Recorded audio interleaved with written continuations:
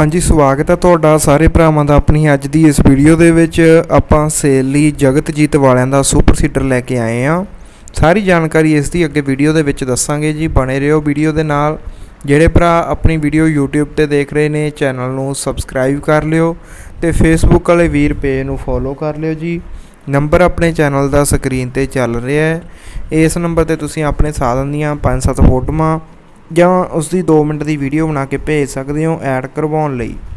ਹੁਣ ਆਪਾਂ ਗੱਲ ਕਰਾਂਗੇ ਇਸ ਸੁਪਰ ਸੀਡਰ ਬਾਰੇ ਜੀ। ਜਗਤਜੀਤ ਵਾਲਿਆਂ ਦਾ ਸੁਪਰ ਸੀਡਰ ਇਹ 7 ਫੁੱਟ ਇਸ ਦਾ ਸਾਈਜ਼ ਹੈ। ਆਪਨੇ ਵੀਰ ਨੇ ਨਵਾਂ ਲਿਆ ਸੀਗਾ, ਇਹਨੂੰ ਜੀ ਆਪਦੀ ਕਣਕ ਬੀਜੀ ਇਸ ਦੇ ਨਾਲ। 7 ਫੁੱਟਾ ਸਾਈਜ਼ ਹੈ ਇਸ ਦਾ ਜਗਤਜੀਤ ਵਾਲਿਆਂ ਦਾ ਤੇ ਮਾਲਕ ਵੀਰ ਵੱਲੋਂ ਇਸ ਦਾ ਰੇਟ ਰੱਖਿਆ ਗਿਆ 95000 ਰੁਪਿਆ ਰੇਟ ਮੌਕੇ ਤੇ ਘੱਟ ਹੋ ਜਾਊਗਾ ਜੀ। ਇਹ ਜਿਹੜਾ ਸੁਪਰ ਸੀਡਰ ਹੈ, ਇਹ ਭਵਾਨੀਗੜ੍ਹ ਏਰੀਆ ਦੇ ਵਿੱਚ ਸੇਲ ਲਈ ਹੈ। ਸੌਰੀ ਸੁਨਾਮ ਏਰੀਆ ਦੇ ਵਿੱਚ ਸੇਲ ਲਈ ਹੈ ਜੀ ਇਹ।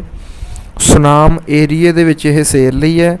ਨੰਬਰ ਵੀਰ ਦਾ ਵੀਡੀਓ ਦੇ ਡਿਸਕ੍ਰਿਪਸ਼ਨ ਦੇ ਵਿੱਚ ਵੀ ਦਿੱਤਾ ਹੋਇਆ ਤੇ ਵੀਡੀਓ ਦੇ ਟਾਈਟਲ ਦੇ ਵਿੱਚ ਵੀ। ਜੇ ਕਿਸੇ ਭਰਾ ਨੇ ਖਰੀਦਣਾ ਹੋਵੇ ਇਹ ਇਹਨਾਂ ਨਾਲ ਗੱਲਬਾਤ ਕਰਕੇ ਤੁਸੀਂ ਖਰੀਦ ਸਕਦੇ ਹੋ।